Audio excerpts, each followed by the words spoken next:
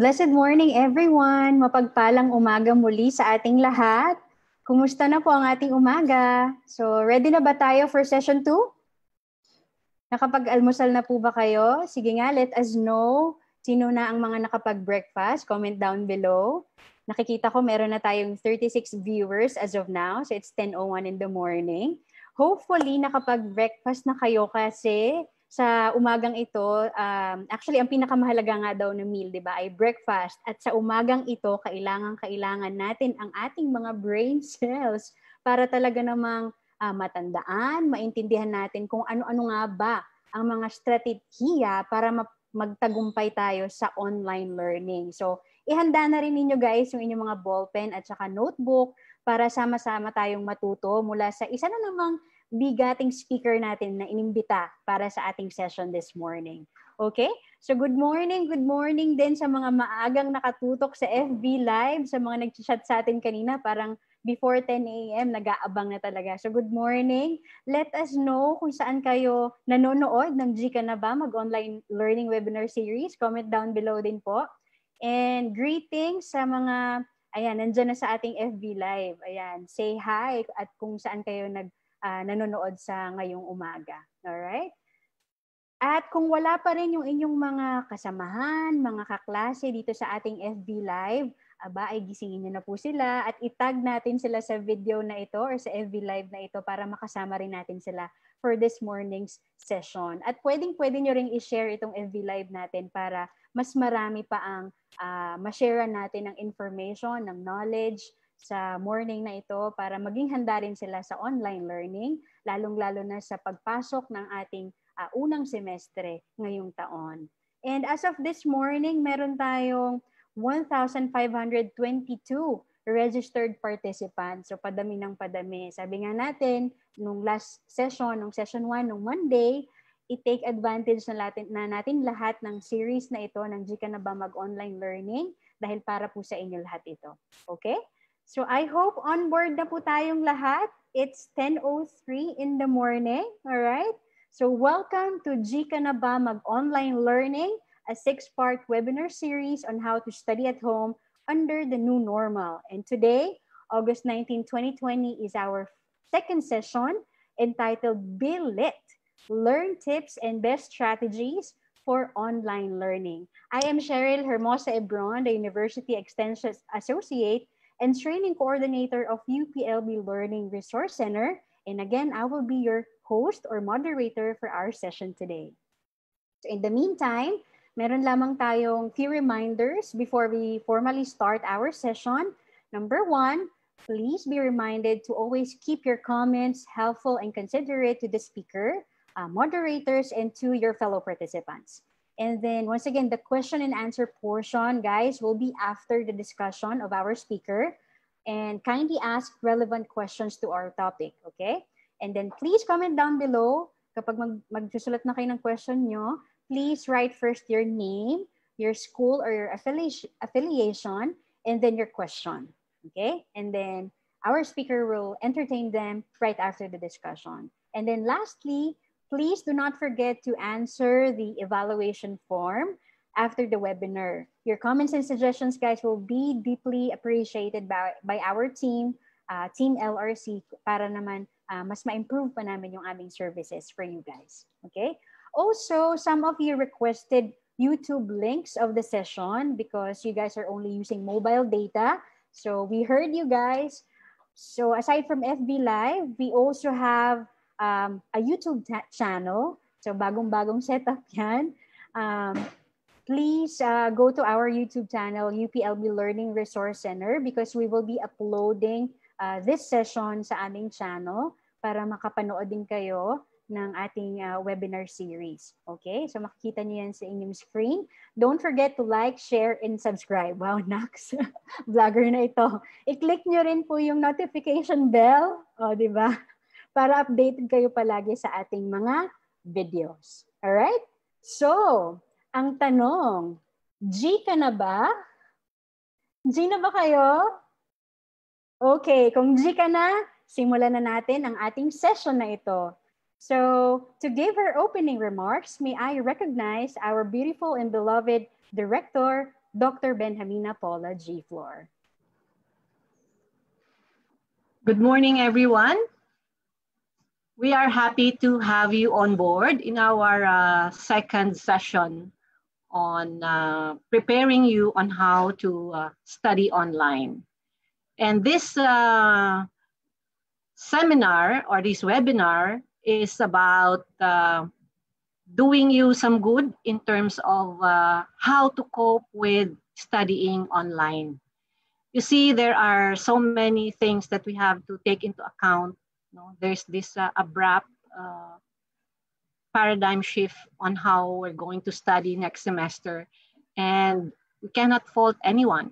We cannot fault the university. We cannot fault our faculty or you, our students, because this is something that we did not ask for. No, we did not want this to happen, but it happened. So what we can do is simply to adapt to uh, this uh, new normal, as we call it. And we believe that as Filipinos, we are kind of resilient and we could uh, face any uh, untoward uh, dilemma or challenges. So why did we uh, have this webinar? No? why G ka na ba? Ano ba ang rason kung ba't ginawa natin to? This is because we want to prepare you on how to study under the new normal. Of course, we know that it is not easy because you only have your uh, machines, no? either a laptop, a phone, or an iPad, or a computer that you always face. Ito lang ang kausap ninyo. No? Wala si teacher, wala si classmate, So, hindi siya madaling gawin. However, it can be done. Sabi nga natin, it can be done creatively and intelligently without much difficulty. So, at dahil dyan, kailangan nating malaman kung ano ba talaga ang dapat nating gawin, ano ang mga strategies na kailangan nating gawin so we could cope with the new normal or for now, no, tentatively studying uh, remotely. So basically, the rationale for this study is, uh, as I have said, is due to the pandemic. And we have no choice but to study fully online this coming first semester 2020-2021, not only to keep you safe and sound, but uh, the university faculty and management as well. Uh, we have been preparing our professors and our staff on how to uh, brace the new normal. However, we thought that uh, we were amiss in terms of how are we going to prepare our students to adapt to this new learning environment. So we did a survey. You know, the Learning Resource Center conducted an online survey on the, academic, on the academic needs of uh, UPLB students during the pandemic. So these are the results of our uh, survey. No? So if you can see, we, we ask our students if they are ready. And as you can see on your left, that's around, um, that's around, or a little over one fourth of the students were not ready or were, were ready. And uh, in the middle would be around a third of the students uh, ready, no? somewhat ready. And around uh, 40% were not ready at all. At dahil dyan, we believe that uh, we need to intervene as a center on how we could get our students on board. So we prepared a six-part series on G ka na ba, mag-online learning. So we had on the 17th, uh, Dr. Edmund Centeno, who talked about creative creativeness in uh, optimizing online learning platforms. So he talked about various ways on how to study offline and online. What are the tools that we could uh, use? No, the limitation of each tool, and uh, how do we prepare ourselves so if you were not able to attend that session, you could look, uh, you could uh, visit our FB page and we will, up, it's uploaded there. And in YouTube, we will try to, uh, we, will, we will upload it as well. So the second, the second session is, uh, is uh, Dr. Um, Lianco, who will talk about the ways no, on how you would be able to participate fully. No? What are the strategies so that you could prepare yourself? So the third strategy is how to be on-cam ready. Kasi you see, if, if, we, if we just simply be ourselves during online sessions, no, hindi pa nakakaligo, siguro hindi pa kumakain, pupungas-pungas pa, eh medyo hindi magandang tingnan on screen. So Dr. Uh, and uh, Professor Mark Lester Chico, doctor to be, no, soon to be doctor, will be teaching us on how to be on-cam ready. Para naman presentable kay teacher, presentable kay classmates. No? Hindi naman kailangan talagang bonggang-bongga, but you will be able to learn some tips on how you're going to present online. May konting direction, kumbaga. No? Tayo ay on-cam, so para lang uh, pelikula. No? So if, if you see the camera, and I'm sure most of you have those uh, skills already, But for online learning, we may be needing some uh, specific skills that uh, would equip you to better study online. The fourth session will be me. I will be talking about uh, how do we apply ethics in online learning. So that means be very extra careful in dealing with our classmates, with our professors, no? with our learning materials, Kasi lahat ito, ah, tinatawag na natin netiquette. No? How do we behave online? So our behavior online may not be different from how we behave offline. But we want to be very extra careful on how this behavior will be manifested online. So our fifth session is about, as you all know, we have experienced some anxiety, some depression, so we will have Dr. Alexandra Jean Paulis to talk about how is our mental health, you know? how is our emotional and social needs going to be addressed. So Dr. Jean or Alex would be able to help us, be able to give us some directions on how we could manage our sanity during this pandemic. And of course, para naman meron tayong credibility in, in terms of how uh, students study online, we will be having uh, two uh, students from the UP Open University. So sila ay uh, mga, yung isa, Shari is already a straight PhD student at the College of Development Communication. So she will share to us how she managed to graduate with honors through online learning. So both of them are students of uh, the Bachelor of Arts in Multimedia Studies from the UP Open University. So sa, in terms naman of experience, talagang UP Open University is the most mature in terms of online learning. So si si Gabi naman is uh, doing his undergrad, hindi pa siya graduate. So these two students will share their successful online strategies and medyo tips then on how not to procrastinate and probably some lessons learned no what did they did not do correctly will be shared to you. So from these resource persons you will be able to to learn whether uh, how to cope well is something that is embedded on you no as an online learner as an, inde- an independent learner nasa sa inyo talaga yung success. If you succeed you get the credit. If you don't succeed, you only have yourself to blame. So we want to make sure that you will succeed in this online learning.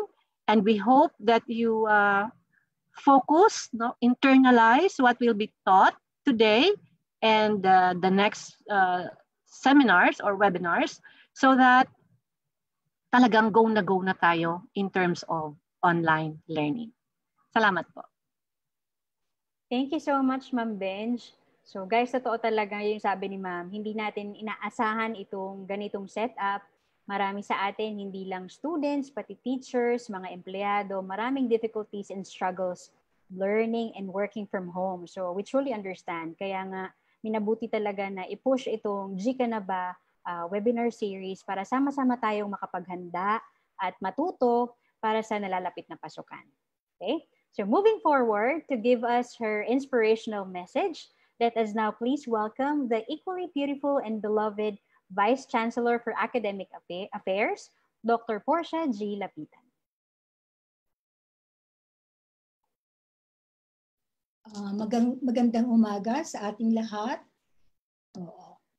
Uh, natutuwa ako na tayo ay magkakasama ngayon uh, dito sa isang uh, programa na nagbibigay pansin no, sa pangangailangan ng ating mga mag-aaral ano, ngayong tayo ay nasa pandemic.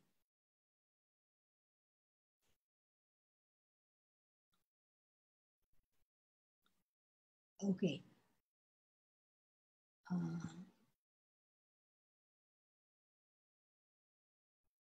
um, medyo may, uh, okay.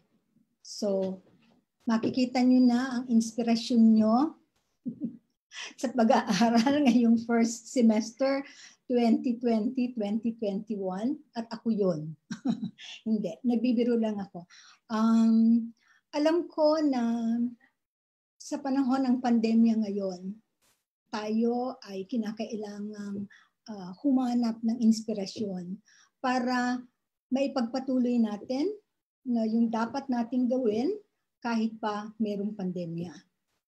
Uh, ang University of the Philippines Los Baños no, ay naghanda no, ng maraming mga programa, naghanda ng mga dapat uh, ihandang mga resources no, para masiguro natin na ang pag-aaral no, sa UPLB ay magpapatuloy kahit pa meron tayong pandemya.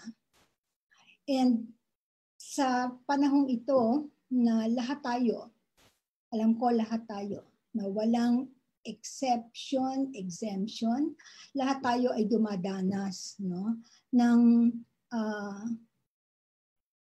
pag-aalala, no?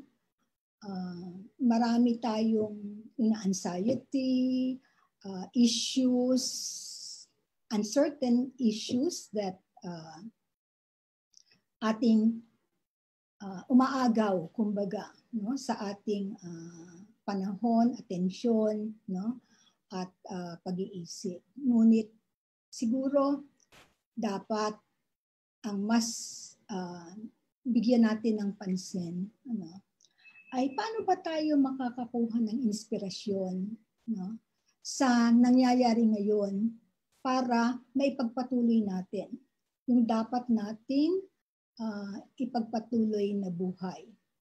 How do we go about know, uh, uh, living up, adapting to know, the new normal?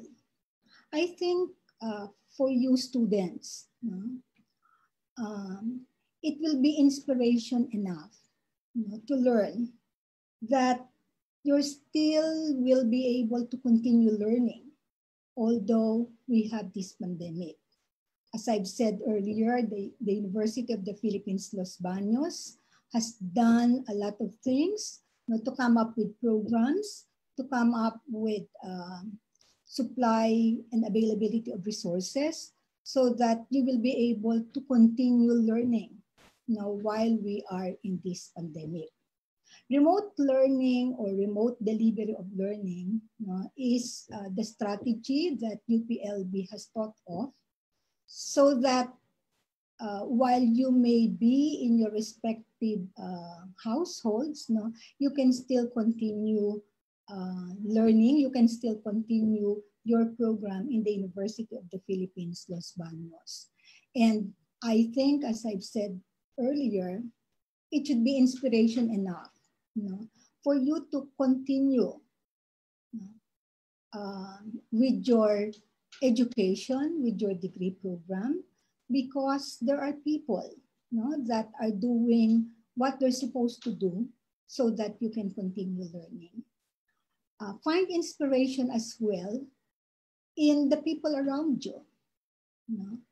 uh, the people around you that are there to continue supporting you in not only in your learning, but in your other uh, uh, concerns, no? maybe social, psychosocial, and all the like. Your family, you with you, I know will be able to provide the necessary support to you. No? And this should be looked at as an inspiration no? for you to continue the work. Um, marami sa atin ang alam ko na uh, ang access no, uh, to the internet, for example, or an access to the uh, to online learning is compromised because of uh, internet connectivity, because of uh, you know uh, resource constraints. No?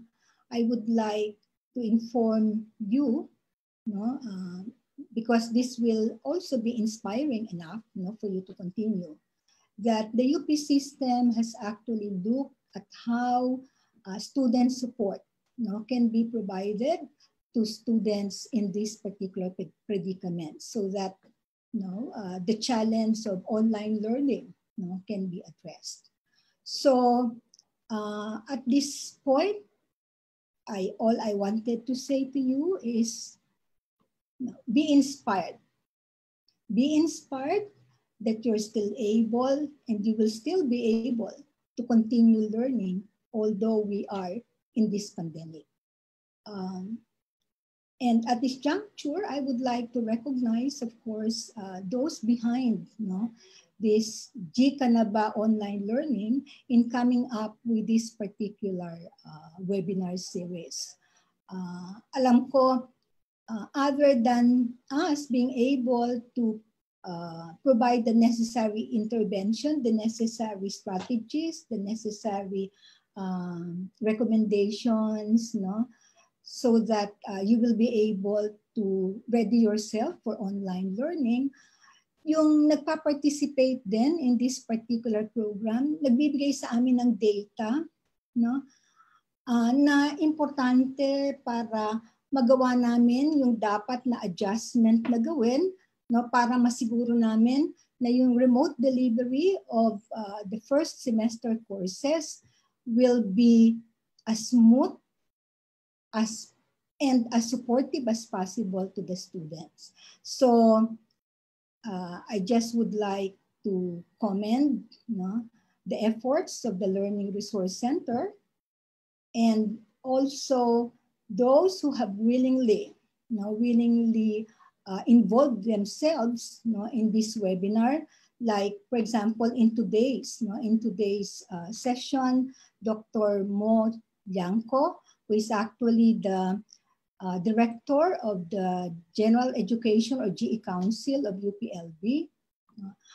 Also, um, the other resource persons no, that will be uh, continuing this webinar series. I need not name them because they have been introduced earlier by Dr. Uh, Floor.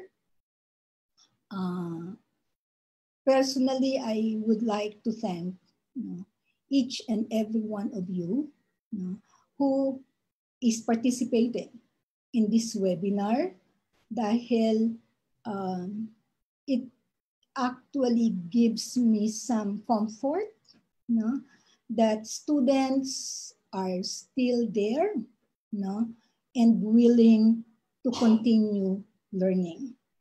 Um, I, I, I have no doubt no, that you will be able know, to manage online learning because you are uh, used to diba? your cell phone uh, to using gadgets know, for communicating. And so, uh, as I've said, know, I am very confident know, that uh, you will be able to cope with online learning. Uh, for us, Generation A1, uh, online learning is really intimidating. Uh, dahil hindi naman kasi kami talaga sanay na palaging nakatutok no, sa mga gadgets. But for you, I know while there will be adjustment, no, uh, because this time yung dating kinukuha yung courses face-to-face will be online, um, it will be an easy task for you. It will be a walk in the park. So continue no, learning amidst the pandemic and UPLB will always be there to support you.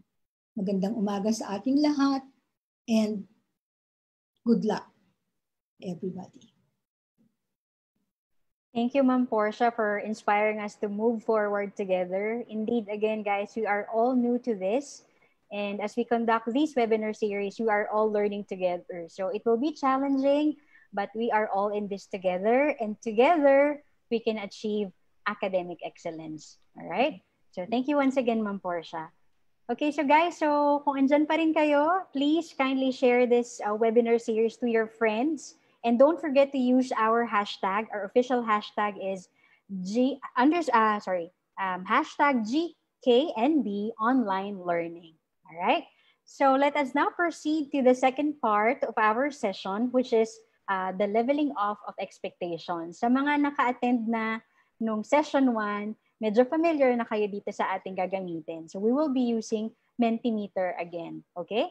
So para sa saan ba itong leveling off of expectations? Again, para magkaroon kami ng idea and background uh, yung ating speaker at yung team namin kung ano ba yung mga inaasahan ninyo makuha mula sa ating session ngayong umaga. So first, first step is to open your browser and go to www.menti.com.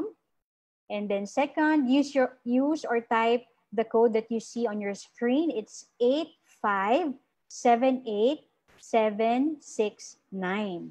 Okay? There are two questions there. I will be also posting the link sa ating uh, Facebook Live. Hold on, para makasunod yung iba.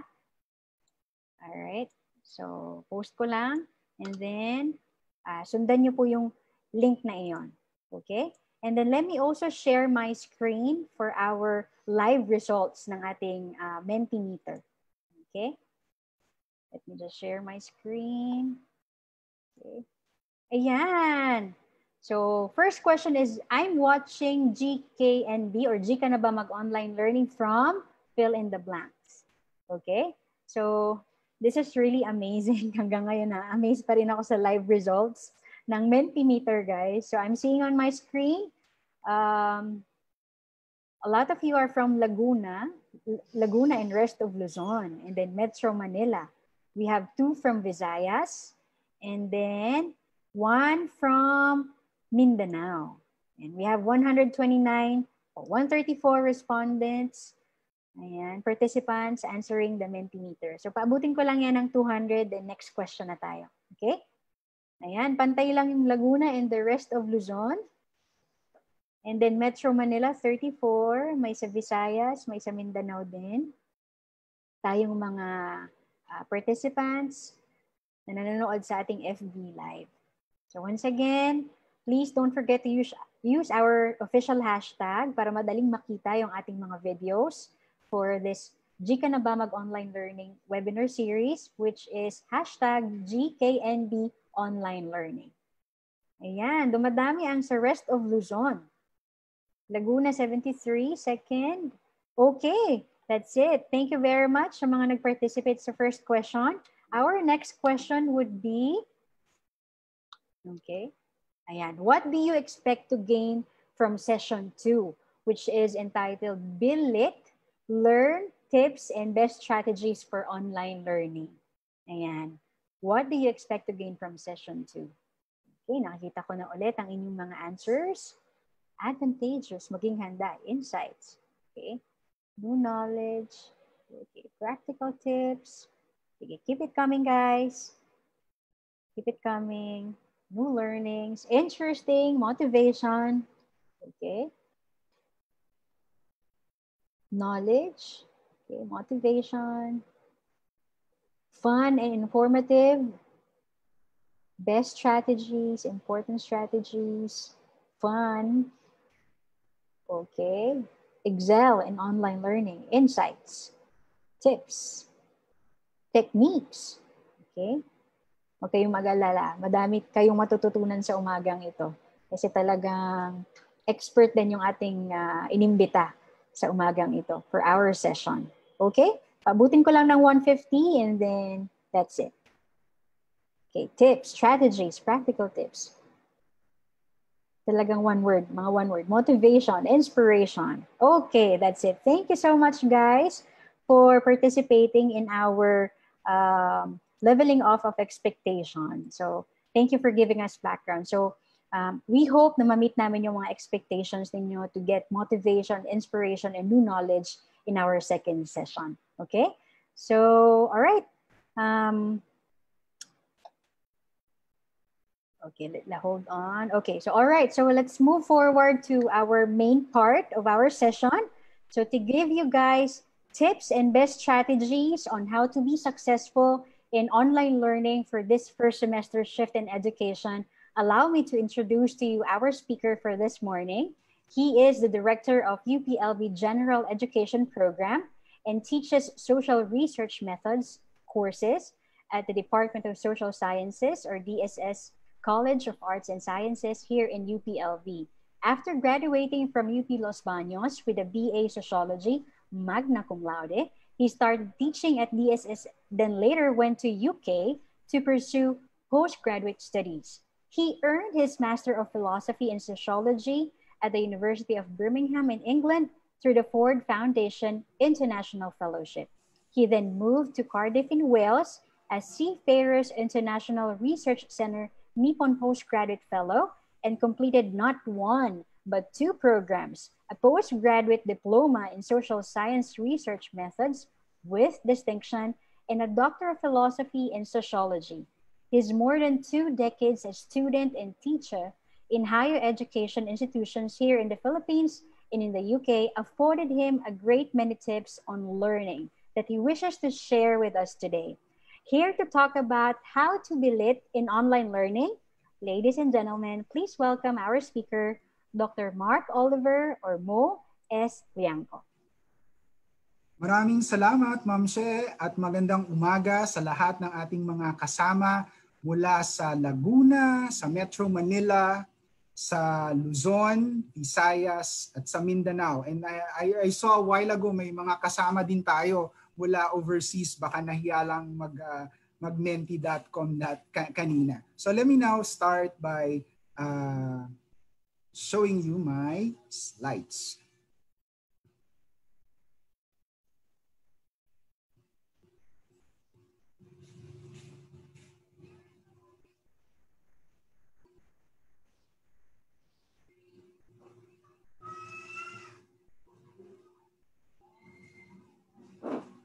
All right, so this presentation is brought to you by the University of the Philippines, Los Baños, shaping minds that shape the nation.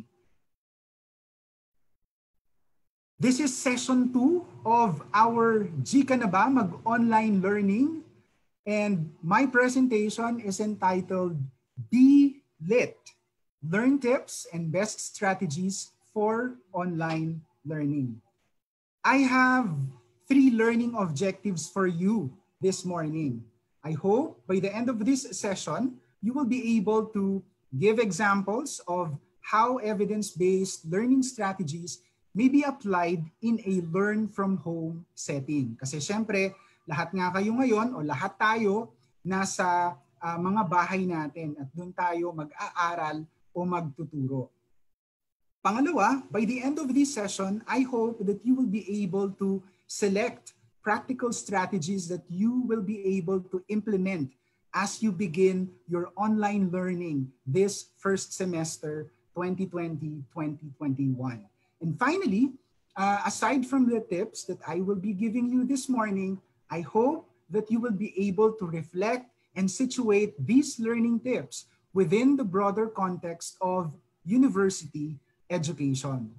I have seven ideas that I want to share with you. But before that, let me first get to know some people who will be studying online for the first time. Kumusta ka na? Isko at ISKA. So meron tayo ngayon na mga uh, kasama ngayon na uh, estudyante ng uh, UPLB uh, na magpapaliwanag sa atin kung ano ba yung kanilang mga plano. So uh, sige, uh, tingnan muna natin yung uh, mga kasama natin ngayon. Ayan, so siguro pwede na nating makita yung video ng ating uh, uh, mga kasamang estudyante. Magandang umaga, Angelo. Pakilala muna tayo. Let's start with Angelo. Nasaan ka ngayon? Anong course mo? At bumati ka muna sa ating mga kasama ngayon. Uh, 500 people, more than 500 people are watching, are joining us through Facebook. Yes, Jello. Ah, Jello, hindi ka pa namin naririnig. Pwede bang paki-unmute muna yung mic mo? Ayan. Good morning, sir. Good morning din po sa mga mga nanonood, sa mga viewers natin sa True FB Live. Um, I'm Angelo Hernandez. BS Agricultural Biotechnology from the College of Agriculture and Food Science. Um, I'm currently here in Pililla Rizal po. Hey, so anong anong course mo nga ulit, Jello? BS Agricultural Biotechnology po.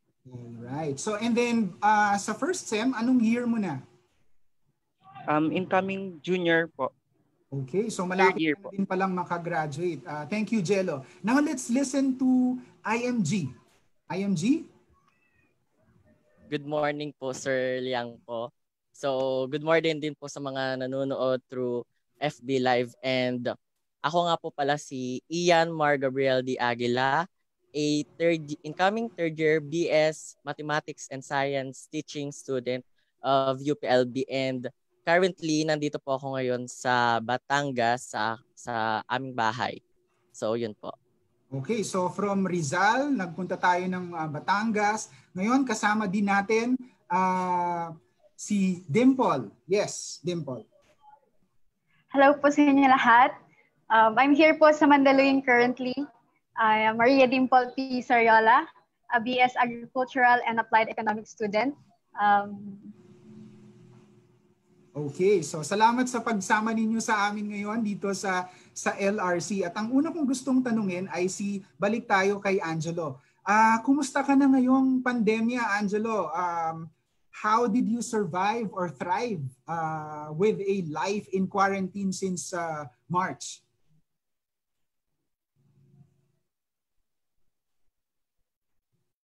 Jello? Nag-freeze yata yung screen ni Jello. So babalikan natin siya later. So siguro si Ian yung tanungin natin, si IMG yung tanungin natin. Kamusta na ba ang buhay mo uh, ngayong pandemya since uh, March? Um, so far so good naman po kasi uh, na isa po ako dun sa mga students na naiwan po sa UP dorm uh, nung March and April nung nag-lockdown and nakauwi mm-hmm. naman po ako nung April 9 and um, yun po, natulong po sa family and yung scholarship grant ko po, ginamit ko po sa small business namin na Sari Sari Store and okay naman po. Okay, natutuwa naman ako at kasama mo na yung pamilya mo ngayon, IMG, at uh, nakakatulong ka ngayon sa iyong uh, pamilya. Uh, si uh, puntahan naman natin si uh, si Dimple. Dimple, ang topic natin ngayon ay uh, learning strategies no, para sa paghahanda natin sa online learning this first semester. Uh, ikaw ba nung wala pa tayo, hindi pa tayo nagsisimula ng uh, online learning, in person pa yung mga klase natin, uh, ano ba yung mga learning strategies mo? Ako po, um, kasi po online, traditional classroom, magkaiba po talaga na nasa harap mo yung classmates mo, yung professor mo. Ako, para matuto po, para ma-digest ko masyado yung mga information, gumagawa po ako ng mga cards, um, visual cards, para madali ko po siyang maintindihan. Pero ang tip po talaga is, you, know, you need to understand yung pinag-aaralan mo para madali mo siyang ma-memorize. Ay, though hindi talaga ma-memorize, pero para maintindihan mo siya at hindi ka mahirapan sa pagsagot ng mga exams or assignments or kaya thesis po. Okay. Nung sinabi mo ba ng mga cards, uh, ano ba yan? Mga index cards? Meron ka ba dyang sample? Opo, usually po, index cards po. Naiwan ko po sa dorm yung mga index cards ko ngayon. Actually. Okay, so kahit na uh, so in the past ano oh, okay. So uh, pagka ba next semester anong plano mo? Mag-i-index cards ka pa rin ba? Opo naman po. Okay. Sure po. Pero ngayon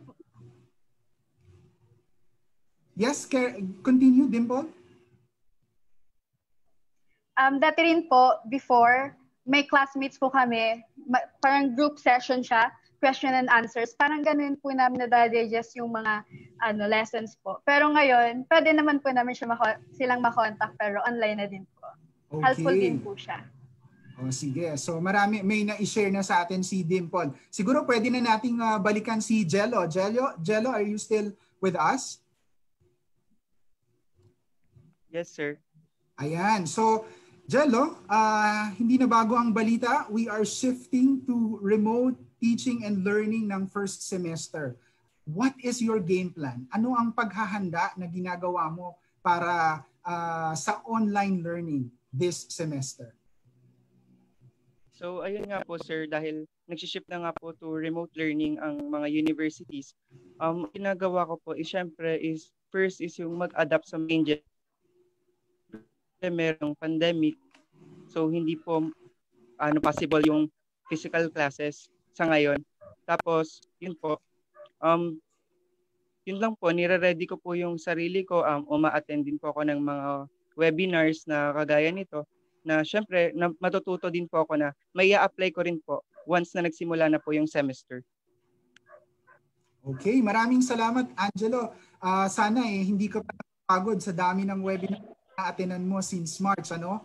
So Uh, IMG, Dimple, Jello, maraming salamat sa yes. pagbahagi ninyo ngayong umaga at babalik na ako dun sa slides ko kanina. Okay? Babalikan ko kayo later. Salamat! Thank you po. Thank you po. Ayan. So let's prepare my slides again.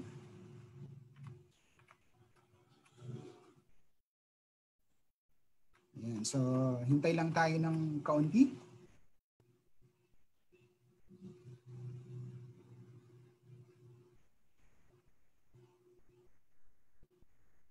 Hmm, sandali lang po.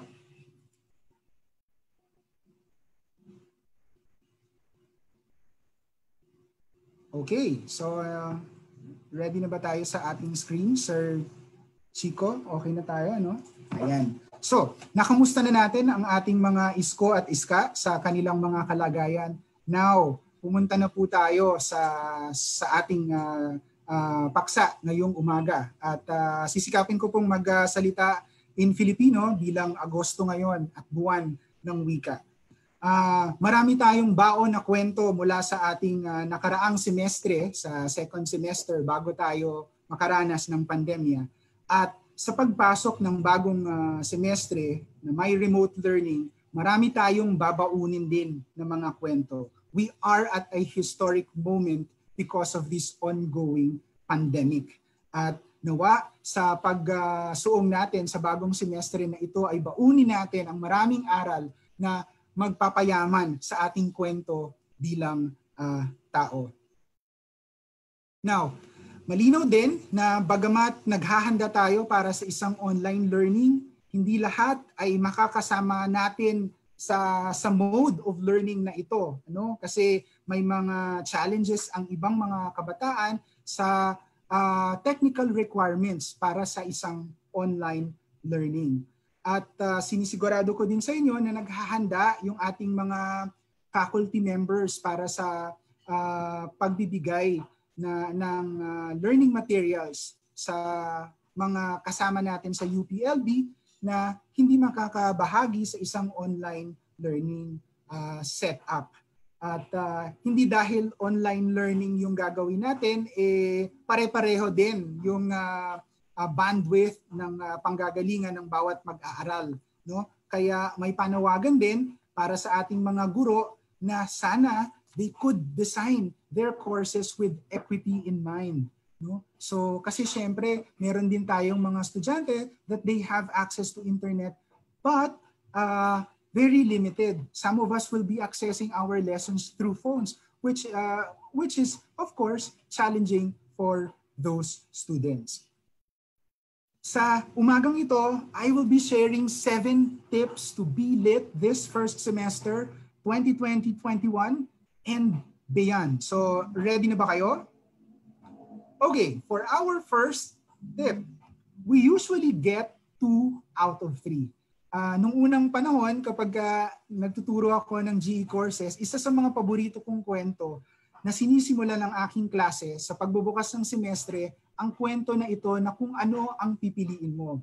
As a general rule, meron lang daw tayo na dalawa sa tatlong areas na ito na pwede nating piliin kapag ka tayo ay pumasok sa isang universidad. Katulad ng UPLB. Ano ba ang gusto mo? Good grades, good social life, o good sleep? Pero yun nga, ang general principle, dalawa lamang sa kanila ang pwede mong piliin. Siyempre, gusto ng mga magulang mo, uh, meron kang good grades. Kaya ka nga ipinadala sa universidad para uh, magkaroon ng uh, edukasyon, ng degree na magagamit mo sa pag-aangat ng kalagayan ng iyong pamilya. Uh, pero, ang sabi din sa atin, natutunan natin ng uni- universidad ay mayroong uh, latent function. Dito natin mapapalawak ang ating uh, social capital makikilala natin ang ating mga magiging kaibigan at katuwang sa buhay sa hinaharap. Kaya importante din na mayroon kang good social life. Pero limitado ang iyong oras, 24 hours lamang. So if you want good grades and good social life, chances are you have very little time for good sleep or good health. No? So minsan naman, syempre, yung ibang mga estudyante, ang gusto nila, good social life, lalo pa nung in-person pa yung mga classes natin.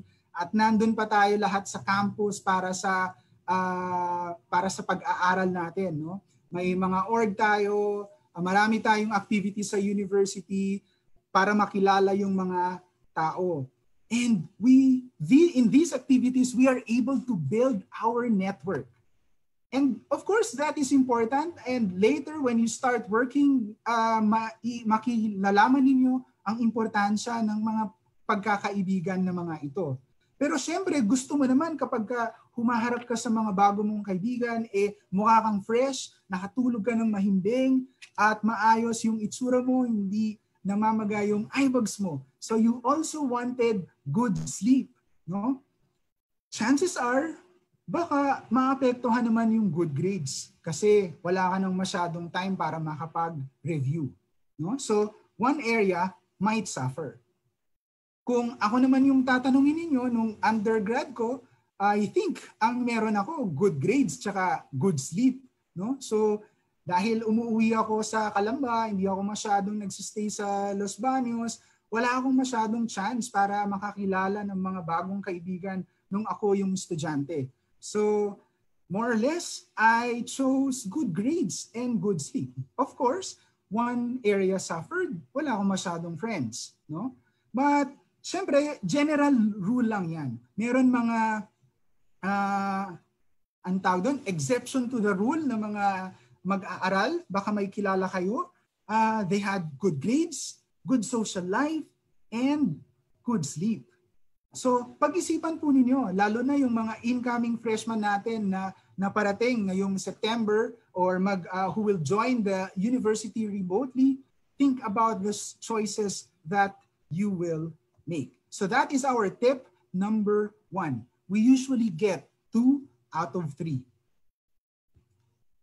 My second tip for you is choose interactions that matter we are now working in an online learning environment. And according to uh, Terry Anderson, if we wanted to create a deep and meaningful learning experience sa konteksto na ito, we need to be mindful of the interactions that will make that happen. No? From the point of view of the student, the student should be mindful between the interaction between the student and the content. No? So yung mga learning materials mo. You also need to consider your interactions with you as the learner and the teacher or the coach. No? Sa isang online learning context, hindi na masyadong sage on the stage ang teacher. The teacher, he or she is now the coach on the side. And at the pero syempre kahit na online ang ating mode of learning, meron pa ding third relevant interaction. At yun yung interaction mo with your fellow learners. Kahit na remote sila, there is a way for you to interact with them. And if you would like to create deep and meaningful learning, that is one area of interaction that you can pay attention to. Sabi ni, uh, ni, ni, ni uh, Terry Anderson sa kaniyang Theorem 1, deep and meaningful formal learning is supported as long as one of the three forms of interaction, na nabanggit ko kanina, is at a high level. The other two may be offered at minimal levels or when even when even eliminated without degrading the educational experience. No? So, ang, anong ibig sabihin nito para sa atin bilang estudyante? You need to exercise where you have most control. No? So, anong ibig sabihin ng exercise control where you have? No? First, I think ang importanteng dapat bigyan ninyo ng pansin is how you engage with your content that in the coming semester, our first semester will be a shortened semester. We only have 14 weeks, no, starting September 10. And for the GE courses that you will be taking this semester, our learning management platform will be Google Classroom. So this is where your facilitator, your faculty in charge, they will be uploading learning material, materials that you can access and uh, work on. No? So last time, last uh, Monday, Sir Ed talked about asynchronous and synchronous modes of delivery. Dahil magkakaiba ang ating access sa internet at ang ating bandwidth capacity, you should expect that most of your courses, especially your GE courses, will be largely asynchronous. Anong ibig sabihin nun? Your responsibility is to be engaged in a self-directed study. So ibig sabihin, ikaw yung boss ng sarili mo. But only within a specific time frame. So for example, one week or three weeks.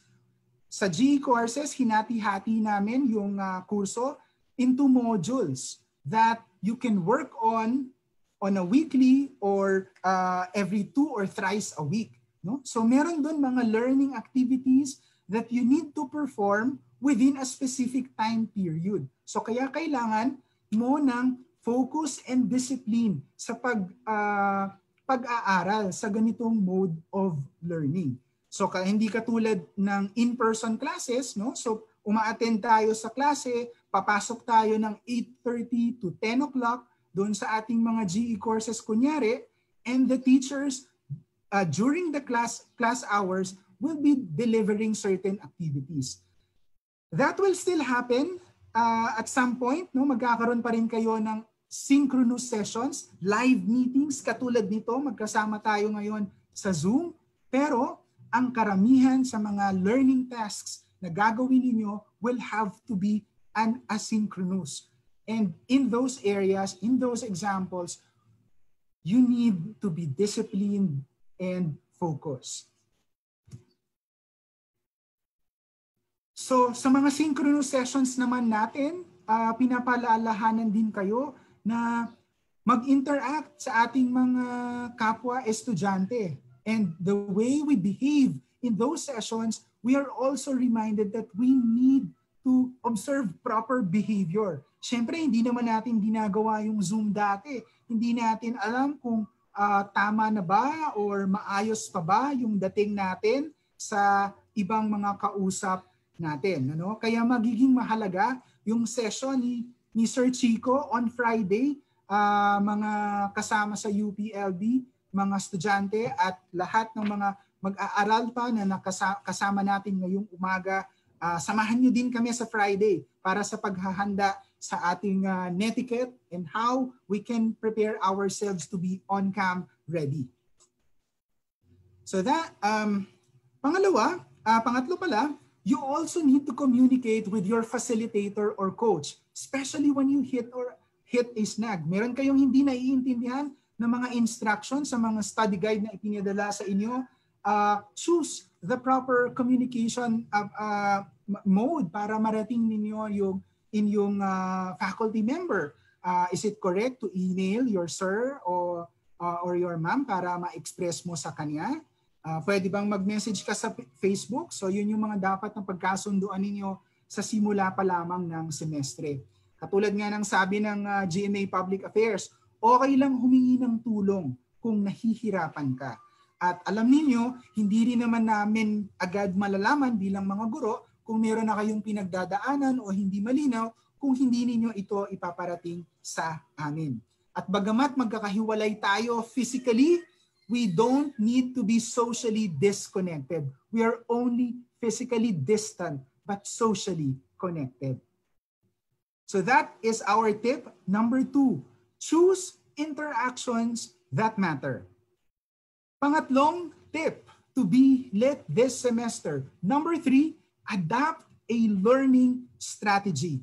At isa sa mga pinaka-useful na OERs, Open Educational Resources na nakita ko ay ang six strategies for effective learning delivered to us by the learning scientists. At inilagay ko dyan sa link below ang, uh, ang, ang link para ma- din ninyo ng mas mahusay kapag ka mas marami na kayong oras. Pero hayaan ninyong sabihin ko sa inyo uh, ang preview ng anim na strategies na pwede ninyong subukan uh, kapag ka kayo ay nag-aaral na.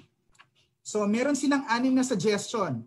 Learning strategies kapag ka nag, uh, nagre-review na daw kayo or nag-aaral kayo, whether online yan, distance mode, or whether in-person kapag ka ready na tayong bumalik sa in-person classes. Concrete examples, dual coding, elaboration, interleaving, retrieval practice, at spaced practice. Ano-ano ba ang mga ito at paano natin ito i-apply? Una ay ang uh, concrete examples. No? So sa mga study guide niyo, sa mga live sessions na katulad nito, your facilitator or your coach will be providing you some examples. So after that, look for uh, look at your class materials and discover some more examples. No? So saan pa ba pwedeng mai-apply ito? Uh, bukod doon sa mga binigay sa inyo ng inyong uh, guro. Ano? And when you consider the examples for a particular concept or process, try to examine, meron bang connection ng mga examples na ito? No, you need to exercise your critical thinking and uh, your pattern pattern recognition in uh, in the examples that you are witnessing. At katulad ng nabanggit sa atin kanina ni Dimple, ano, napaka-importante na meron kang learning partner. No? So, ito yung mga iniisip mo, why don't you share it to uh, your classmates? No? Katulad nga ng nabanggit ko kanina, we can be physically distant, but we will have to remain socially connected. Marami naman mga paraan and I'm sure alam nyo kung paano makukontak yung inyong mga ka-eskwela. So that is concrete examples. Ngayon naman, dual coding. So you have here your study guide. Of course, verbal siguro yung pag-explain sa inyo ng inyong mga teacher. One thing that you can do is to transform those verbal or textual study guides into visual. So katulad ng uh, nasuggest sa atin kanina din ni, uh, ni Dimple, no? meron siyang mga uh, cue cards, mga index cards. So siguro doon niya ginagawa yung doodle ng mga ng mga concepts, no? Or uh, images or notes that uh, she uses in order for her to review for a particular course or exam. So that is dual coding. Susunod naman ay ang retrieval practice. Ano namang ibig sabihin nito? So kunyari, online setup, nandyan yung mga reading materials niyo, yung videos na pinapanood sa inyo, yung mga worksheet na ipinagawa sa inyo. After that session, close down the computer or the lap or your laptop. Uh, kuhanin ninyo yung inyong notebook at isulit ulit ninyo yung mga natutunan ninyo from the lecture. Sketch it out, no? Eh nang hindi tinitingnan yung mga notes ninyo muna para malaman ninyo kung ano na yung ongoing understanding ninyo sa inyong lesson and then once you have sketched it out, written it down, go back to your notes. Tama nga ba yung pag-intindi mo? Tama nga ba yung naisulat mo doon sa iyong notes? So that is one way that you can implement retrieval practice. Susunod na tip, Elaboration, isa pa din yan na technique.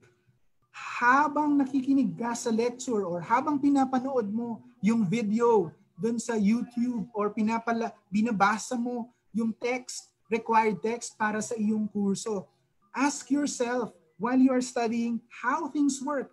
Be curious. Ask the difficult question. Why and how are these things related? Connect the ideas from the pages that you are working on. No? And then uh, find answers in your class materials and discuss them with your classmates. So isipin niyo no? Etong, uh, I'm sure itong learning scientists, when they did this uh, uh, suggestions, strategies, they were thinking, of course, of the in-class, uh, in-person classes. But that these strategies are still applicable in online learning setup. You can still reach your classmates. You can still reach your uh, your coach. No? So that is elaboration. Interleaving, ang susunod naman natin na strategy. Paano ba yung interleaving? Go back over the ideas again in different orders, in, in different orders to strengthen your understanding. So for example, yung isang module, merong tatlong main sections, tatlong main concept. A, B, and C. So, for the first 20 minutes, ang aralin mo muna yung concept A. Next, second 20 minutes, concept B. And then dedicate the last 20 minutes in understanding concept C. Now, kapag ka nagre-review ka na, balikan mo yung notes mo, A, B, and C.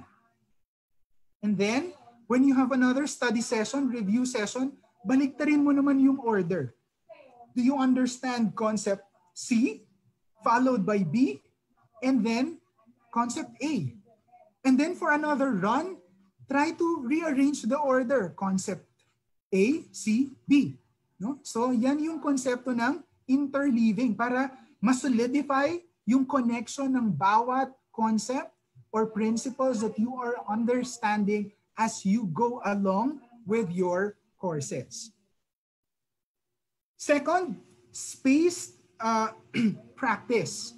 No? So kung maki-review information from each class, syempre naman, but not immediately, but not immediately after class. So for example, our learning session today, maybe you are already writing down some notes, no? So tapos gusto mong balikan ka agad yung uh, lesson na na-miss out mo kanina, uh, babalikan mo yung Facebook live natin. Uh, siguro mag-break ka muna. Matatapos tayo around lunchtime, kain ka muna. Uh, kapag ka naka-rest ka na, balikan mo yung notes mo. And then, well, uh, after that, baka pwede mo nang balikan yung uh, yung YouTube, uh, yung Facebook Live ng ating session ngayong umaga. Siyempre, ibig sabihin din ito kapag ka meron kang exam, you should start early. But of course, marami sa atin ay uh, crammers, no? Kapag ka malapit na yung exam, doon lang tayo maghahanda. No? So siguro pwede natin yun baguhin ngayon kasi lalo ngayon dahil uh, ngayon nasa bahay ka, ikaw ang magkocontrol ng oras mo at ikaw ang magmamando sa sarili mo. Hindi katulad nung umaattend tayo sa in-person classes na every Tuesday and Thursday magkikita tayo sa loob ng ating klase. So, yun po ang mga strategy natin that, at lilipat na ngayon tayo sa pang-apat na pinaka uh, isa, isa sa pinakamahalaga, strategize time use. No? So, uh, allocate time on task and stick to the limit. So pagka na-meet na ninyo yung inyong mga kurso for first semester, they have identified kung ano ba yung kinakailangang task at uh, oras na gugugulin for particular tasks. No? At estimated lang naman yon pero at least meron kayong idea how much effort you will have to put in at particular tasks. No? So halimbawa, para dito sa learning session natin ngayon, supposedly, we need to finish by 11.30. No? So we started out at 10. So alam mo that you will have a commitment to be with us in this mode for, for an hour and a half. Um, mahalagang tip din is that uh, because we are learning and working from home, you need to negotiate a study space. No? So kung meron kang dedicated na area, sana ma, napaka, napaka-inam nun para sa iyo na meron kang study table o meron kang designated area na doon ka mag-aaral. No? Kasi para ayaw natin na, na masyadong magkakakabit yung uh, mga buhay natin. Ano? So halimbawa, dala-dala mo yung laptop mo sa, sa kwarto, sa silid tulugan ninyo, tapos dala-dala mo rin yung laptop mo sa silid kainan ninyo, sa hapag kainan ninyo, uh, medyo magka, mahihirapan kayong lalo. No? So kung posible, magkaroon ka ng dedicated space sa loob ng inyong bahay kung saan ka mag-aaral o magtatrabaho. At nauunawaan ko rin, hindi lahat tayo ay nakatira sa mga malalaking bahay o of course, hindi lang tayo mismo ang nasa loob ng bahay. Maybe meron tayong mga kapatid o mga magulang na magtatrabaho din sa loob ng bahay. Kung wala tayong pansarili natin na study space o workspace, maybe you could also negotiate time space. No? So shifting kayo kunyari. Uh, panghapon ka, pang umaga siya. Eh, sasabihin mo naman, eh paano po yun sa uh, ano, live sessions namin? So syempre, yun yung magiging difficulty natin. Pero katulad nga ng nabanggit ko kanina, most of your sessions will be asynchronous. Ibig sabihin, you are given one to three days to respond to the question or to submit the worksheet. So hindi naman kailangan na uh, dahil ang nakalagay sa class schedule mo ay 8.30 to 10, eh kailangan 8.30 to 10 ka din magbabasa dun sa uh, iyong uh, Google Classroom. Ano? So, and also, consider limiting your screen time ang inaasahan sa atin, for example, sa isang 3-unit course, ang dedicated uh, study time mo dyan ay mga 8 hours. Pero hindi ibig sabihin ito na ang buong walong oras ay gugugugilin mo na nakaharap sa uh, laptop mo tapos kailangan meron ka pang mga ring light dyan, no? mahirapan ka. Hindi yun magiging mabuti para sa yung mga mata. No? Uh, at syempre kasama din sa screen time natin hindi lang yung mga laptop kundi yung mga devices ninyo, no? Baka dahil sa learn from home setup tayo ay mas limitahan natin ang uh, uh, as maging masinop tayo sa pagkakaroon natin ng screen time kung kinakailangan lamang. Number four, you may also want to try the Pomodoro technique, no? So ano ba yung Pomodoro? So kapag ka may may uh, uh, may task kayo, uh, kailangan magba, magbabasa kunyari uh, 25 minutes. Yun lang yung gagawin mo, naka-focus ka doon. So ibig sabihin dapat malayo yung phone mo, uh, wala kang ibang gagawin. Focus lang for the next 25 minutes and then after that, you can take a 5 minute break. Uh, magkape ka, mag uh, uh, Facebook ka, whatever you want to do for 5 minutes. And then, uh, next session ulit, 25 dedicated, 25 minutes, isa lang yung gagawin mo. Work, work on your task. That is strategize, uh, strategize, strategic time use. No? Tip number four. Isa pa na, na, masa, na nais kong banggitin sa inyo, you need to keep track of your schedule by optimizing your use of Google Calendar and Google Keep. No? So yung mga uh, sa GE courses ninyo, sa Google Classroom, of course, magkakaroon dyan ng mga deadlines. And what I strongly suggest is that you automate so that these uh, deadlines are already imported uh, from Google Classroom to your Google Calendar. At ako, fan din ako ng paggamit ng Google Keep para sa ideas that I'd like to write down at pwede ninyo rin i-integrate yung uh, pwede ding naka side by side yung inyong Google Calendar at Google Keep. So that's one way that you can manage all the events in your life uh, kasama na yung mga klase, lahat ng mga deadline, lahat ng inyong mga meetings. So syempre, kayo, yung generation ninyo, digital natives kayo, no? So baka mga one-year-old pa lang kayo, nag-YouTube na kayo, may Facebook na kayo, uh, may hawak na kayong cellphone, pagkagising pa lang sa umaga hanggang bago matulog. Pero dahil digital natives kayo, uh, baka ito rin yung dahilan kung bakit nahihirapan tayong nakafocus. We have organized our lives around the screens uh, of our devices. So halimbawa ngayon na kasama ko kayo, na tinitingnan ko itong screen ng aking laptop at on my side, side I also have my iPad monitoring kung ano yung nangyayari sa Facebook. And then on my right hand, I also have my phone. No? So lahat tayo laging distracted.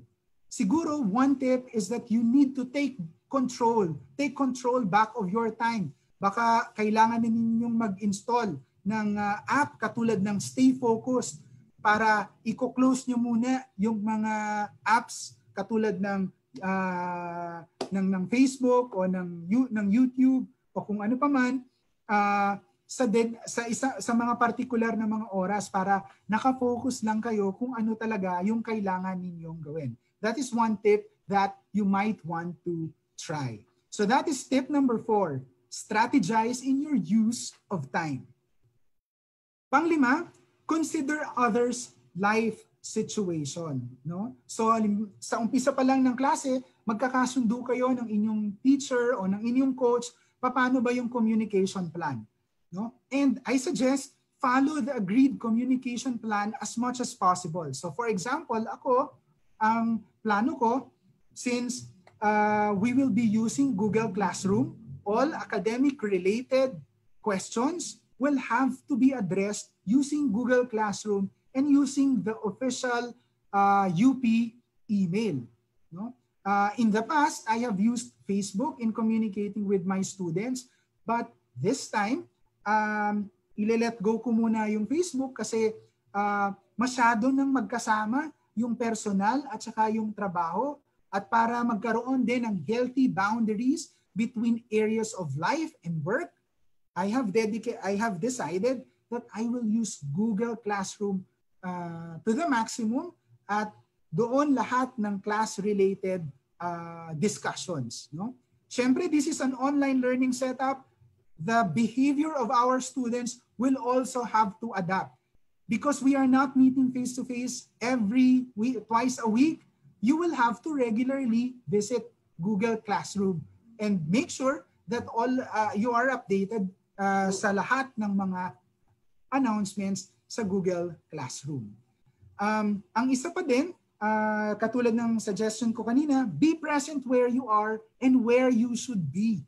So, kung nagawa mo na yung calendar mo sa Google Calendar and you have put in there, you have blocked a specific amount of time, say one or two hours, ang gagawin mo lang ay uh, SAS 1, no?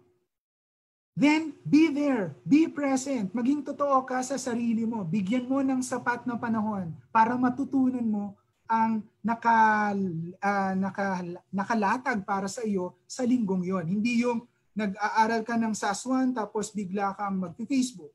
Diba? So, baka maging counterproductive yon para sa iyo.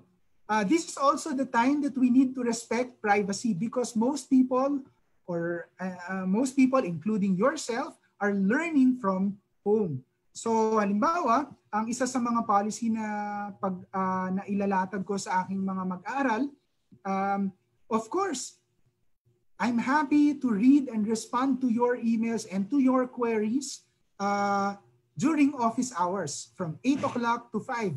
I promise and guarantee you that I I will be online and I will try my do my very best to respond to you, uh, to your queries.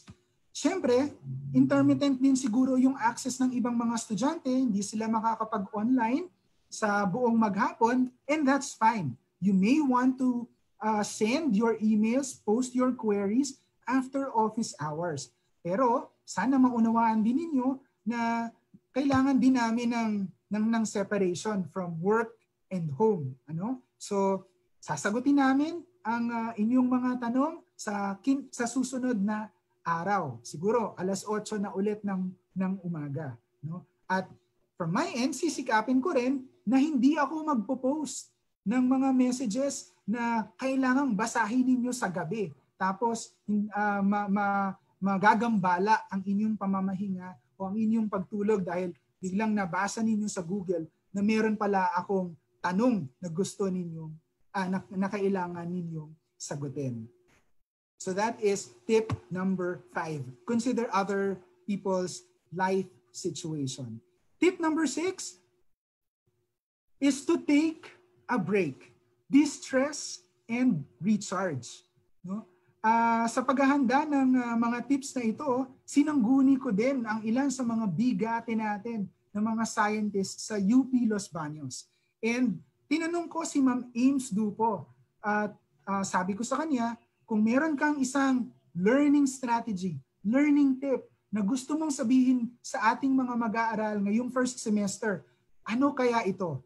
At itong sabi niya sa akin, set aside time for rest When things do not make sense anymore, rest, but do not oversleep. We are more receptive to learn more when our brain is given enough time to process. At ganun din naman yung suggestion sa atin kanina, no?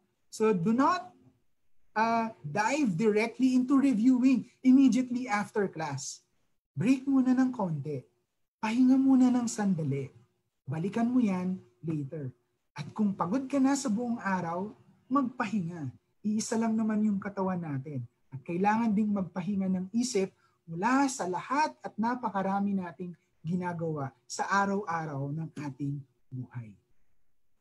Nagpayo din ang GMA 7. Uh, Puro na ako GMA kasi hindi ko napapanood yung Channel 2. No? Power naps. Uh, baka kailangan mo yan. 20 minutes. Uh, power nap is good for your alertness and motor learning skills like typing and playing the piano. No? So kung may pagkakataon ka sa maghapon na makapag-siesta, makakatulong yan sa pag-aaral mo. Pero tandaan nyo rin na kapag sinabi ko na take a break, distress, and recharge, hindi ibig sabihin nun eh, oh, magbe-break muna ako tapos mag, magpe-Facebook, magto-Twitter ka na naman. So remember, that is still your screen time. No? So nakatingin ka pa din sa screen. Ang suggestion ko, consider getting unplugged. Consider a break wherein you need to remove all the gadgets. No? So halimbawa, kung may pagkakataon at posible sa inyong mga komunidad, magkaroon kayo ng power walk. No? At dahil lagi tayong nasa bahay, hindi tayo nakakaalis, nakakapunta sa ibang mga lugar, I suggest ngayon, mas importante ang magkaroon ng physical exercise. So kung may meron kayong uh, YouTube, no, napakadami naman doon ng videos na, na pwede ninyong sundan at makapag-exercise kayo kahit nasa bahay. So for example, ako, ang personal favorite ko ngayon ay yung uh, body project. No? So uh, natutuwa ako kasi uh, hindi lahat eh, muscled person na kagad no? kapag ka nag-exercise. So that is doable for me. I don't know kung ano yung uh, mas magiging madali para sa inyo. We are now uh, six sa ating mga tips at ito na po ang pangpito. Stay motivated by remembering why. At yan ang payo sa atin ni Dr. Jomar Rabahante ng IMSP Institute of Mathematical Sciences and Physics ng College of Arts and Sciences. Kung hindi niyo uh, kung mapa- maaalala ninyo, isa sa mga pinaka-busy na scientist ngayong panahon na ito si Jomar Rabahante para sa uh, modeling na ginagawa niya sa sa sa COVID na nagiging batayan para sa mga mga polisiya na na inilalatag natin sa uh, sa IATF o sa gobyerno. No? Sabi niya, if you want to do something, start it. Yes, start is the key word. Now, to maintain momentum in everything that you do, find a purpose. Kahit na simple, kailangan ma-feel natin kung para saan ito. Purpose drives our life towards our desired direction. Without a purpose, we might be lost. And look at how much Jomar has achieved. And maybe the reason for that is because he started it and he stayed the course because he knows why. So, sa inyo, ano kaya yung why ninyo bilang isang estudyante? Now, I'd like to unpack that a bit. What does it mean to remember why? So for example, sa ating learning session ngayon, ano nga ba yung objective? What is our why for today's session? And kung maaalala ninyo, yan yung mga learning objectives na ipinaliwanag ko kanina. No? So magkakaroon tayo ng learning strategies, we will discuss practical strategies, and now we are trying to make sense of all these strategies within the broader context of university education. So try to think of your weekly module. Try to think of your course that you are doing right now, yung mga individual subjects. Ano ba yung why? No? So para mas maging motivated ka, alamin mo kung bakit mo yan ginagawa. So, isa pang halimbawa, try to imagine the program why. No, sa UPLB, meron po tayong iba't ibang mga GE courses. Labing lima yan. No? So yung Arts 1 Content, Ethics 1, Phil Arts 1, Wika 1, CAS 1, SAS 1, STS 1, Math 10, Science 10, Science 11, SOCSI 3, PI-10, Philo 1, at saka Hume 3. So lahat yan pwede ninyong makuha depende sa kung ano yung kurso ninyo. Merong mga prescribed at merong mga elective courses. Pero alam ba ninyo na kahit magkakaiba ang pinanggagalingan ng mga kurso na ito, na kahit iba-iba ang mga GE courses natin, yung topic nila, meron silang iisang tunguhin na sana ay naipaparating namin ng malinaw sa inyo bilang mga mag-aaral. At yun yung sagot sa tanong na why? No? So, para sa GE courses, alam ba ninyo na ang layunin nito is for you, for, for, for you to develop leadership characterized by integrity, honor, excellence, and public service. Katulad nga ng simulang slide ko para sa araw na ito, This is a presentation brought to you by the University of the Philippines, Los Baños, shaping the minds that shape the nation. When we look at you inside our classrooms or in the screen, in this screen, sa Zoom, we are looking at future leaders of our nation. And I hope yun din yung naiisip ninyo. Sa bawat isang GE course na kinukuha ninyo, ang aim nito ay mabroaden ang intellectual and cultural horizon. It aims to hone critical and creative thinking, develop passion for learning and scholarship, cultivate a high sense of moral and intellectual integrity, and foster a commitment to nationalism and social justice. Math 10 man yan, STS 1 man yan, SAS 1 man yan, Arts 1 man yan, pare-pareho ng tunguhin ang GE courses na sana ay naiisip ninyo habang uh, itinuturo ito sa inyo. Lawakan natin lalo ang ating perspective when we answer the question why. When you think about your own degree programs, you must also think of why and answer the question, what are the ideal characteristics of a graduate of your own degree program. Marahil, dapat ninyo rin yun balikan at malulutas ninyo at mananatili kayo na motivated. No? So bukod dun sa motivation na manggagaling mula sa inyong mga pamilya, pero may dahilan din kung bakit ninyo kinukuha ang partikular na kurso kung saan kayo naka-enroll ngayon sa degree program ninyo. Sagutin ninyo yon sa inyong mga sarili. Bakit nga ba ang kursong ito ang kinuha ko?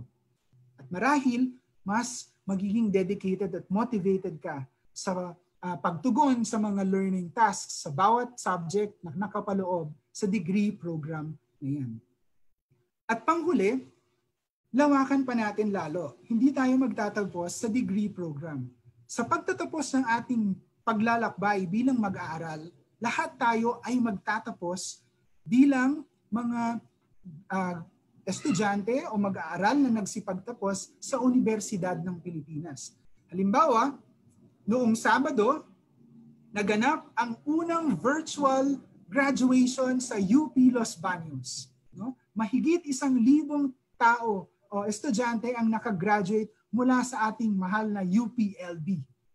At mayroong isang bahagi doon na uh, hindi nawawala sa lahat ng graduation ceremonies. At yun ay ang panunumpa ng katapatan sa universidad. Can you imagine, after four years or five years or seven years of being in UPLB, it all boils down to this test statement. Ang panunumpa ninyo ng katapatan sa universidad. Marahil tumatagal lamang ng, ng, ng 30 seconds ang panunumpa na ito. At dahil noon lang natin siya narinig, baka hindi rin ito pumapasok sa ating isipan. Pero ngayon, lahat kayo na 530 na kasama natin ngayon sa Facebook, uh, isipin ninyo at balikan ninyo ang panunumpa na ito. Hindi lamang sa araw na gagraduate kayo, kundi sa bawat taon na guguguli ninyo sa Universidad ng Pilipinas. Because this is the kind of person this university would like you to be. Sabi, tapat akong sumusumpa bilang isang nakapagtapos sa Universidad ng Pilipinas na sisikapin kong maging karapat-dapat sa karangalan at pamantayan at kahusayan ng aking universidad na isa ang mga bagay na mag-aangat sa aking kaisipan at pagkatao at mamamalaging nasa panig ng batas, kalayaan at katarungan. Alang-alang, lahat sa paglilingkod sa bayan at sangkatauhan. Papaano kaya ito tinutugunan ng bawat degree program kung saan kayo naroon ngayon? Papaano kaya tayo mananatiling nasa panig ng batas sa bawat kurso, bawat subject na kinukuha ninyo ngayon? At sa pagsisimula ng bagong semestre, ang bawat module, bawat study guide, paano ito makakatulong sa inyo para maging handa kayong maglingkod sa bayan at sa sangkatauhan. Yan po ang ating tip number seven. Stay motivated by remembering why.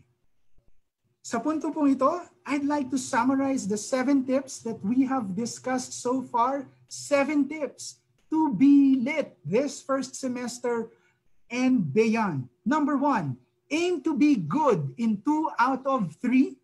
Number two, choose interactions that matter. Number three, adapt a learning strategy. Number four, strategize your use of time.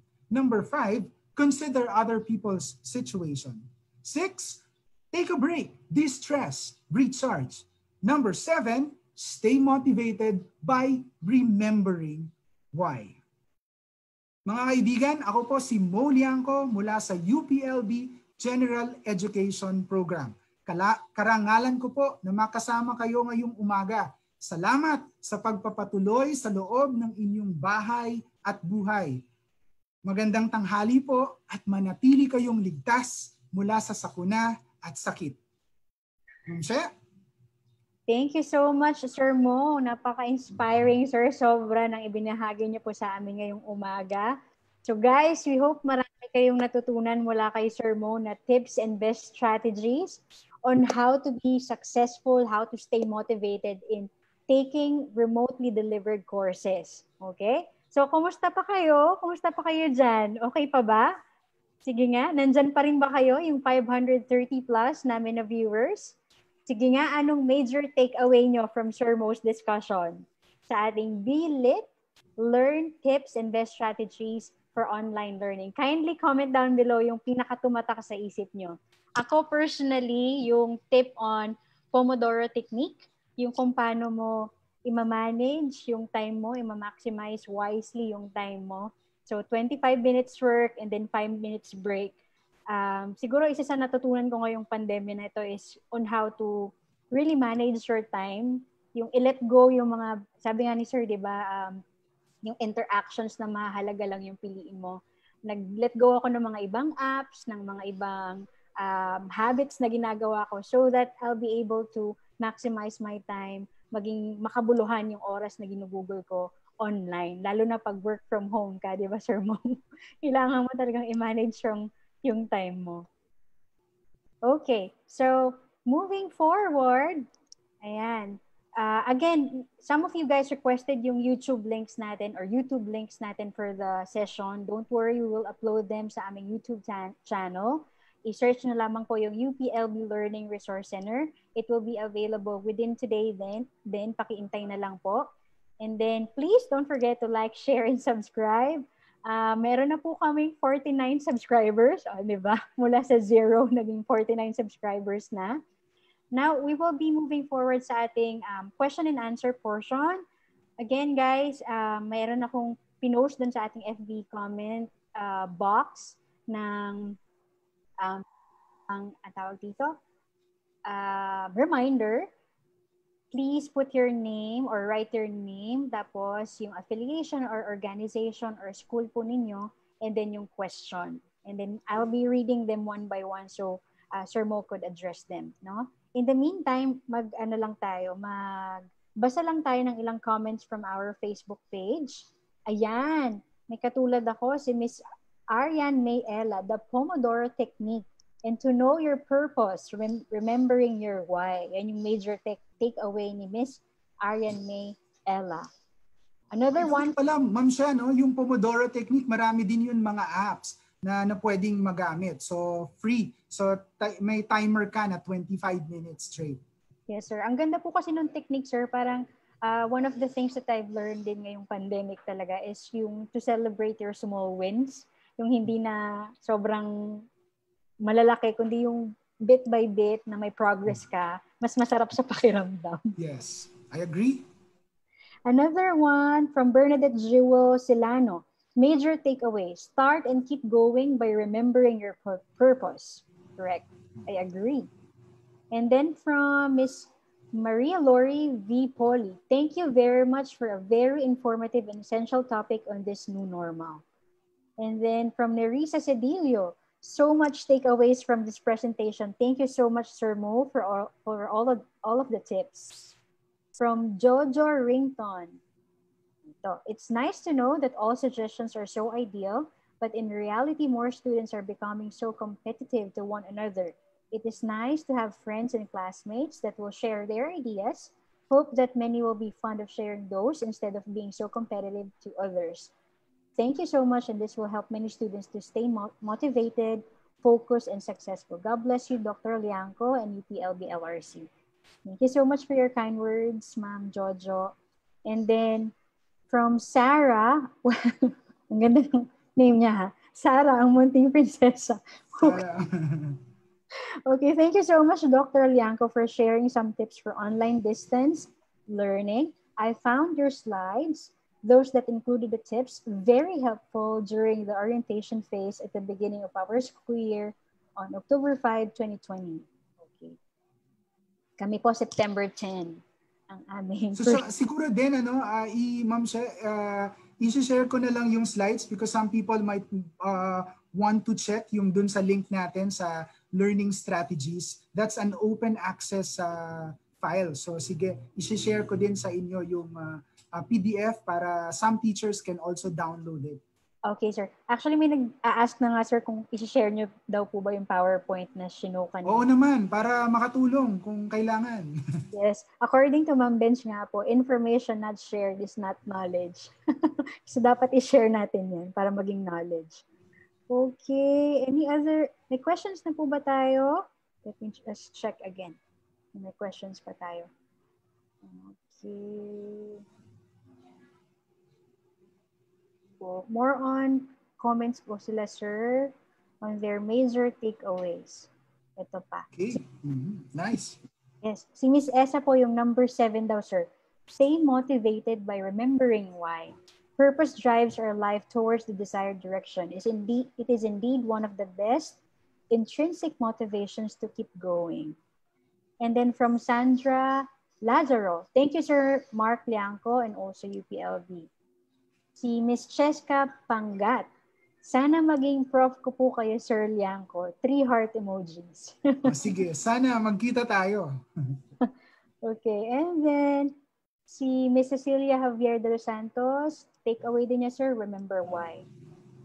And then from Gwyneth Yapan, I learned about the importance of while we are physically distant, we need to be socially connected by reaching yeah. out to classmates and teachers whenever we need help. Oo. Sa at kung may dadagdag ko lang ano Ma'am She, uh, madala kasi ngayon nakalimang buwan na tayo sa sa media ay uh, patuloy ko pa rin naririnig yung salita na social distance. Mali po 'yon. Wag po natin ipalaganap yung salitang social distance. Kasi ang ibig sabihin ng social distance, mayaman ako, mahirap ka, so magkalayo tayo.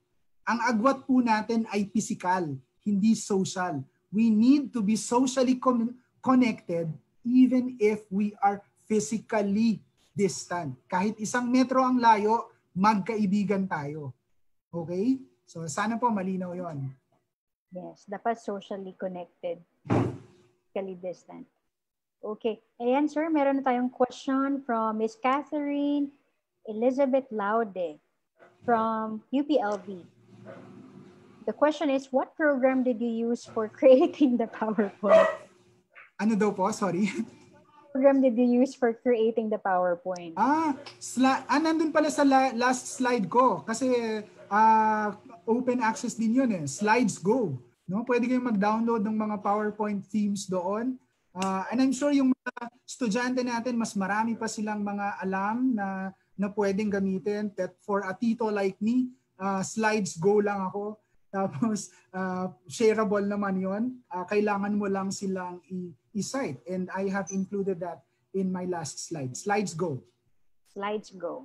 Okay, so I hope that answers your question, ma'am. Another question from her as well, um, from Miss Catherine Elizabeth Laude from CAS UPLB.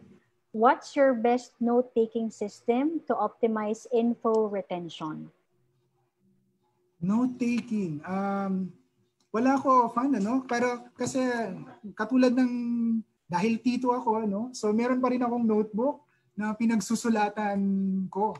No? Uh, at yun pa, bakit importante na sinusulat natin yung ideas natin? Kasi lagi na tayong nasa nasa screen. At naniniwala tayo that our memory will always serve us right. Kaso, uh, hindi yon nangyayari. Nakakalimutan natin yung mga ideas. That is why we need to write it down. At madalas, halimbawa, yung mga pag nagsusulat tayo, gusto muna natin na, na nabuo muna natin yung buong idea sa loob ng mga isipan natin. But my dear friends, That doesn't happen eh. Uh, nabubuo yung ideas on paper. You need to write it down. Writing is thinking. I agree, sir. May natinan po akong isang webinar din abroad. Sinabi po nung speaker na write before you're ready. Sabi niya kailangan uh, magka-discipline ka na every day i gawin mo siyang habit na balikan mo araw-araw yung, halimbawa kung may submit ka na journal article, ouch, journal article, 20 minutes every day, gawin mo siya. And then, balikan mo tomorrow. Kahit na hindi ka pa nakapagbasa. Kasi from there, mabubuo mo na talaga yung yung buong idea. Tapos kung may babaguhin, babalikan na lang. Tama ba, sir? yes, tama yan. At saka ang isa pa palang tip, ano, halimbawa nagsusulat ka. Um, tapos magbe-break ka na. Just before the break, write a statement there. My next point is just give an idea. Para pagbalik mo, you don't have to review everything. Alam mo na kagad kung ano exactly yung babalikan mo na idea. So wala ka nang masyadong gap. Di ba? So keywords lang. It doesn't have to be right. R-I-G-H-T. It ha you have to write it W-R-I-T-E. Get it written. Don't get it right. Yes. Kasi pwede namang i-revise. Wow, thank you so much, sir. Inspiring talaga. Another one, ito sir, comment ulit. Um, from SP Joe, from JC San Pascual, uh, from CAS. The talk is very well packaged. So many helpful takeaways, both for students and teachers. May you consider and motivate motivate more people despite the hardships of the current times. From SP Joe. Ano yan? Fan ko yan. Biro lang. Dami mong fans, sir. Aba, let me check, let me check. May nagtatanong, sir, anong course po tinuturo niyo? Sana po maging prof kita from RM Caguliodo. So ngayong SEM, mga social courses tsaka methods courses, meron kaming SOC 191, baka gusto niyo mag-enroll, or 291 kung graduate student ka. Okay, sir. From ito, fan din natin to. Si Sir Bernard Panabang. Oh, session 1 to session 2. Andito si Sir present. Okay. From UPLBGS, question, what are your thoughts on providing a conducive environment for home learning? We know that there are a lot of distractions from home and some of us prepared or dedicated space for learning at home. But I believe it is a big factor also for learning.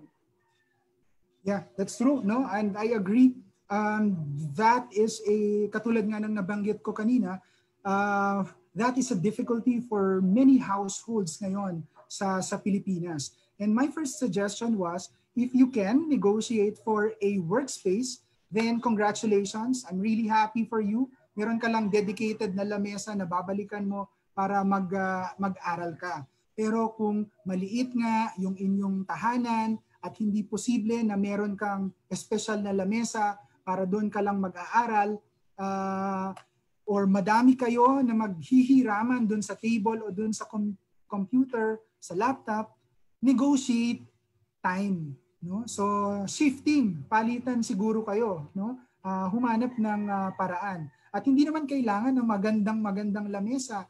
Kailangan mo lang ng maliit na espasyo para maka, maka-focus ka. I'm sure, uh, of course, medyo mahirap din yun. Halimbawa, uh, katulad ngayon, uh, we, I, I live in a compound. No, baka mamaya bigla nang may sisigaw or may mga naglalaro ng mga bata, hindi ba? So, hindi natin yun maiiwasan. But those are the challenges that we can get used to uh, slowly as we um, um, go through our semester uh, starting September 10. Okay. I hope that answers your question, Sir Bernard. Another question from Hermie Marciano. What tips you can give or can you give to those students who are on modular learning? So, I really hope na yung mga estudyante natin ano, uh, mag mag uh, pa kayo ng inyong mga teacher how are you going to submit the work that you will be doing and i'm speaking for uh, again general education courses. Uh, ipapadala ba yan through mail or how frequent? Ano? Will it be sent at the end of the semester? Uh, pero siguro, hindi naman walang-wala tayo na means of communication. Baka naman pwede mag-text ka pa din, no? Uh, be reminded na you're still part of the university, that you intend to submit uh, your assignments at a certain period. No? So, importante pa din yung communication. Uh, siguro, kailangan mo din mag-journal. Ano? Uh, maybe that is going to be part of your portfolio. Again, this is only applicable for general education courses. I know it is really difficult to think of a modular uh, setup distance education when you have when you have your technical courses, especially yung mga laboratory uh, subjects ninyo. No? So I don't have ready answers answers for that uh, and I'm really sorry. Uh, pero dun sa mga mag-GE, uh, we will find ways to be connected with you. Of course, it's challenging, mahirap yon at uh, hindi na natin mode masyado yung nag nagte-text tayo kasi kahit na ginagamit mo yung phone mo, ang ginagamit mo naman doon Messenger, Viber, Telegram, hindi ba? So sana magkaroon pa din na ma-maintain natin yung communication even if you are doing the modular version of the course. Okay. Thank you, Sir Mo. So, I guess yun na po lahat yung questions. May mga nag-thank you lang, sir. From Melvin Ross, thank you, Prof. Lianco and UPLB for the wonderful seminar. Bro Lex, kudos po, Sir Mark. And then Joanna Maranan, ha ha ha, I'm so certified tita. Notebook pa din din daw siya, sir. Same. okay, I guess that's it. So, let me, our team LRC, hashtag team LRC would like to take this opportunity to Thank you, Sir Mo, for your valuable time. Kahit mo, sir. Thank you so much for um, being with us for this session. So to award the certificate or e-certificate of appreciation, may I kindly recognize our director, Ma'am Benji Flor. So let me just read the citation. Okay, can I see the certificate, please? Okay. So UPLB Los Baños Learning Resource Center present the Certificate of, of Appreciation to Mark Oliver S. Lianco for serving as a resource speaker in the second session on BLIT, Learn Tips and Best Strategies in Online Learning in Jikanabamag Online Learning, a webinar series on how to study at home under the new normal held on August 19, 2020, given this 19th day of August 2020 at the Learning Resource Center, UPLB College Laguna, signed by our director, Benjamin Apollo G. Flor.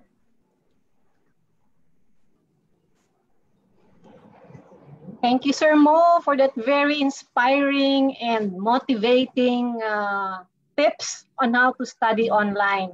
So nakakatuwa talaga na mas maintindihan ng mga bata at sa paligay ko naman ay uh, very uh, straightforward ang presentation And I myself had uh, learned a lot as well.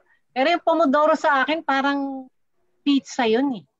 Parang mas, mas pizza ang naaalala ko. Kaya siguro kung maaalala ko yung pizza na Pomodoro, eh pwede kong gawin yung technique. Oo. Siguro, th- thank you so much, uh, Sir Mo, sa uulitin. No? Na, Maraming salamat po. So, for our uh, students, pwede po nating i-download yung uh, recording nito for you to uh, review kung kinakailangan po. Thank you, Ma'am Bench. Thank you, Sir Mo. All right, so guys, again, reminder for our third session of the Jika mag-online learning, a webinar series on how to study at home under the new normal, entitled Be On Cam Ready, Effective Online Presentation Skills for Students. That would be on Friday, August 21, 2020, 2 p.m. po tayo. Hindi po tayo 10 a.m., 2 p.m. Hindi masyadong maaga, okay? At also, please do not forget to answer the evaluation form of the webinar. Again, your comments and suggestions will be deeply appreciated by our team, hashtag Team LRC. I also posted the link in our comment section box para po ma-access niyo yung ating evaluation form. Okay? And then yung PowerPoint po ni Sir Mo, I'll be sending them to all of the uh, participants who evaluated our our program or our session for this morning. Okay? So once again guys, lubos-lubusin niyo lahat ng ating webinar series kasi para sa inyo po talaga ito. Um, we are, this is our privilege to really serve you and to be of use kahit na work from home, kahit na may pandemic, um, makatulong pa rin kami sa inyo. Okay? Attend all the six sessions to be fully prepared for this coming first semester uh, academic year 2020 2020-2021.